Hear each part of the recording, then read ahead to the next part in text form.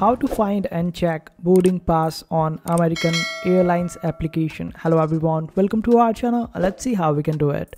For this, just simply open up the American Airlines application on your mobile device and after that at the bottom you should be able to find this slider simply slide it up and you would be able to find this option of find simply click on find trip and after that you need to enter your first name last name and your ticket or the credit number.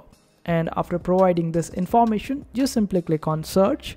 And after that you should be able to find all the details related to your ticket.